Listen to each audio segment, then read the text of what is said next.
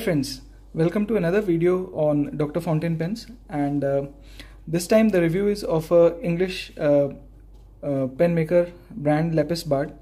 The pen has been kindly uh, sent by William Penn which is a multi-brand fountain pen retailer. Uh, I'd say pen retailer as well as they have uh, uh, accessories uh, which um, um, which are also there along with this um, and these are basically through online retail as well as brick and mortar stores um, um, in major metropolitan cities of India.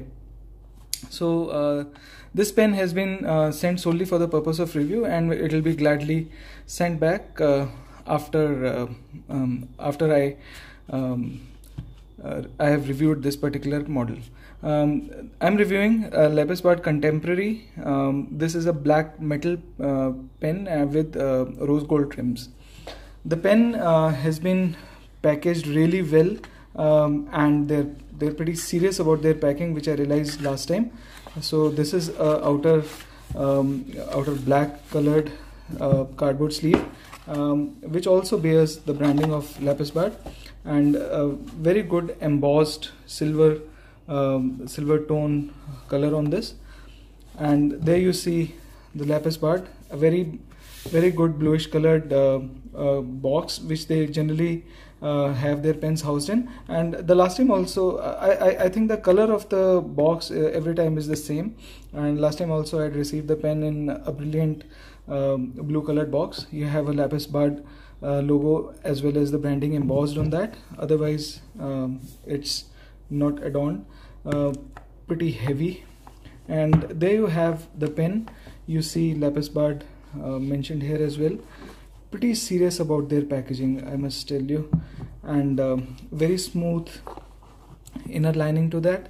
Uh, the pen has come with a complimentary uh, leather pouch. This is a genuine leather case um, from William Penn, I had purchased a few pens earlier, and I um, uh, I got this uh, leather pouch from them from the Lapis Bard last time. But I've, I'm using this uh, on a regular day-to-day basis for my uh, as a regular carry carry sleeve for other pens as well. So um, I really like this single pen sleeve, uh, which they uh, provide complimentary with the pen.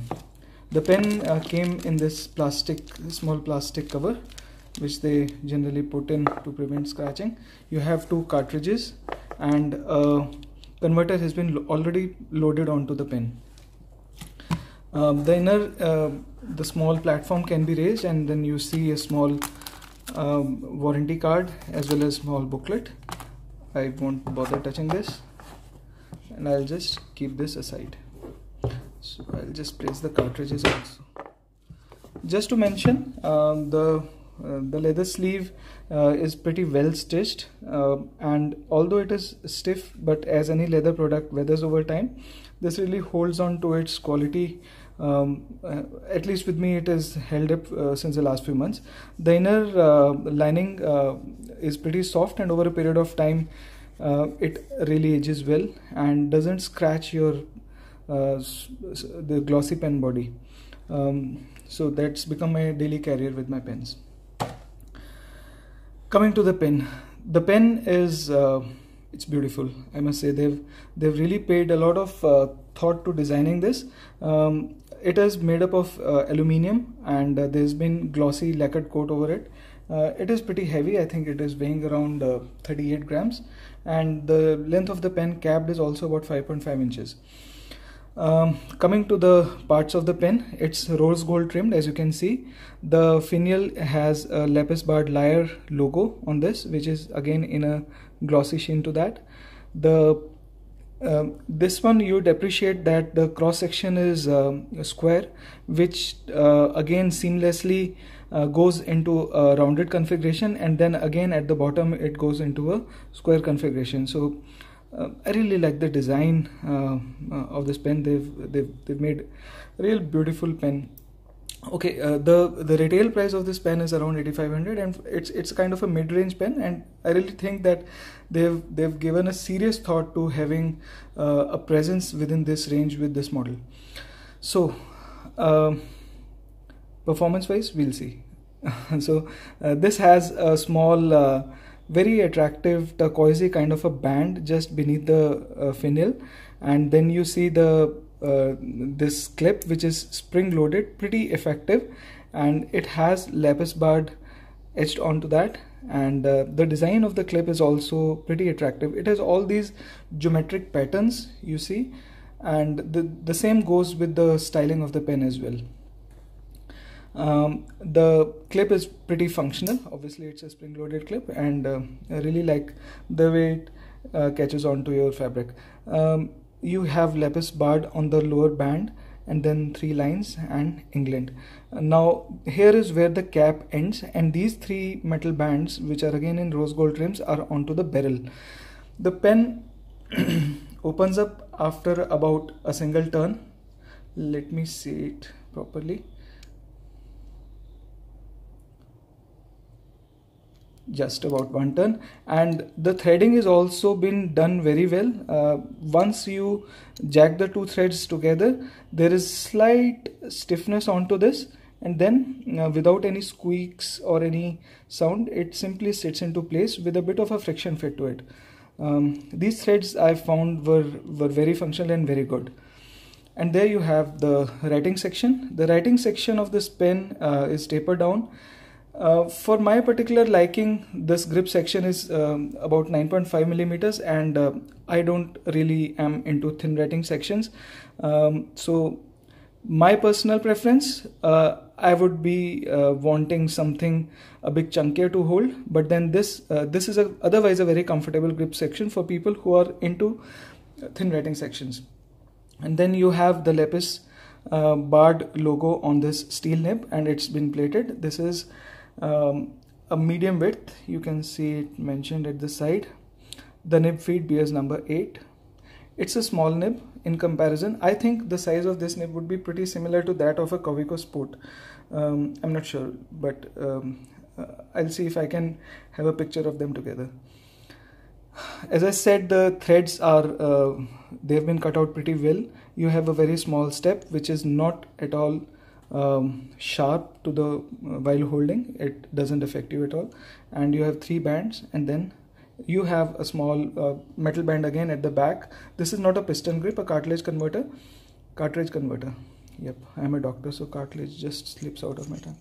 So uh, now one thing i found flawed with the uh, workmanship of the pen is that the cartridge you find the converter you find is getting stuck while i am putting the barrel out and uh, sliding it in. So I think there has been some issue with the way they've they've made their cartridges uh, the, the, converters. Uh, the inner diameter of this is not fitting properly into this. Um, every time you put there is a bit of resistance to this. So there's some issue with that. Uh, i don't know if it is a particular defect in this this model uh, this piece or it's all through their uh, lineup um, the this converter is threaded and the, which is a good thing. So um, over a period of time you won't just have it slipping out of this section time and again um, which i find really good. Um, I think I'm lacking in my research, but I'll do that and I'll, I'll, put it in the description if these converters are universal but I think they are. They are not proprietary. I think they are universal uh, cartridges and converters which you can use, but then please make sure that the ones you use are threaded. Um, again, as I said, a square bottom. Um, this geometric pattern ensures that this doesn't post. See, you have uh, this round and this, then the bottom bottom is squared up, so it, it doesn't just fit into it. But the length of the pen uncapped, uh, unposted, is good uh, so you won't i think need to even post this pen. It's a very good glossy lacquered finish onto a aluminium body but the pen is not light. Um, as i said it weighs 38 grams so without posting also you would find it having a bit of a hefty feel into the hand. Again as i mentioned the grip section is not once one i would really jump and hold on to. I would yeah I'd be happier with the grip section in the dimension of somewhere around around 11 to 12 mm at least. So there you go. If you have to compare the dimensions to another pen I'd reach out to a Lamy 2000 there you have a Lamy 2000 how it fares in the dimension. There you go. And uncapped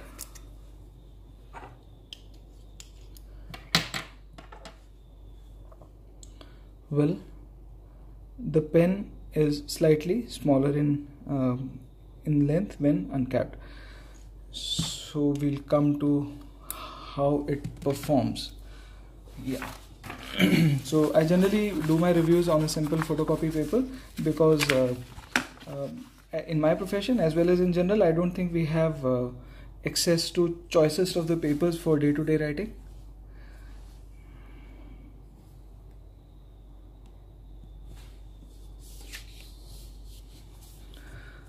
so I am reviewing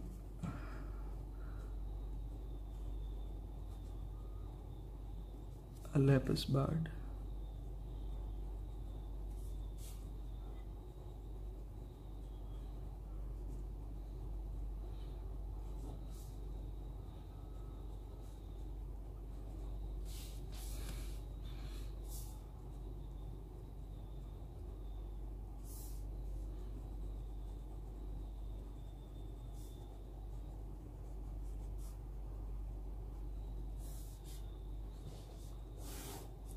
so my go-to ink is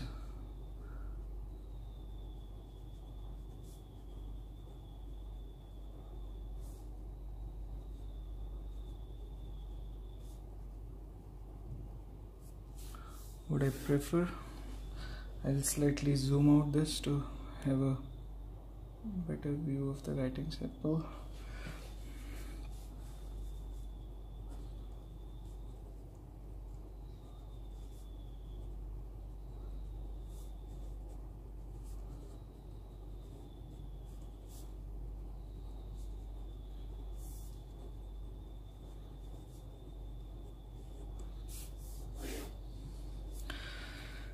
um, this particular pen has not been tinkered by me at all and uh, the nib performed right out of the box and it, it is pretty smooth.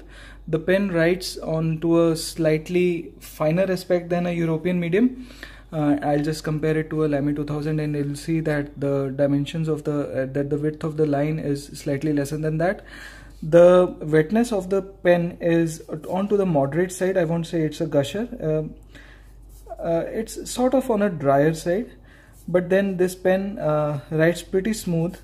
Uh, the initial skip which you saw is probably because I kept it um, open for some time um, probably because of that but otherwise the pen has performed pretty well uh, now see there are a few things which uh, a few nibs which I think uh, basically are a joy to write on all the papers. You don't have to really hunt for a fountain pen friendly paper, paper for writing those.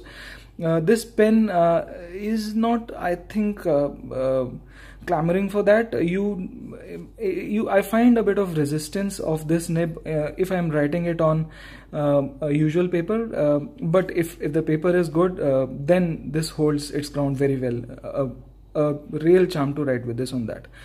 Uh, smoothness wise, uh, first I'll come to the wetness. You see uh, this particular part, if I keep it open uh, for some time, um, the nib, uh, the ink dries pretty fast. Um, I would rate the wetness of this pen uh, just to be about a moderate one and smoothness of the pen well this time um, lapis has nailed it. Uh, the nib is very smooth. Um, I can't have any doubt about that. The this nib is performed brilliant right of the box. Um, just because the nib is running onto a drier side maybe if I could tinker with it I would have really wanted it to become slightly wet and then it would have glided across any paper I wanted. I, I hope so. I think so. Um, the nib is steel. It is very stiff and you can't expect it to have any bit of flex writing with it um, can't have any line variation with this. Uh, there is no stub quality and uh, otherwise no skips no hard starts. Um, as I came uh, talk to you about line variation uh, I'm sorry uh, the line width in comparison to a European medium. So there you have a lapis bard. And then you have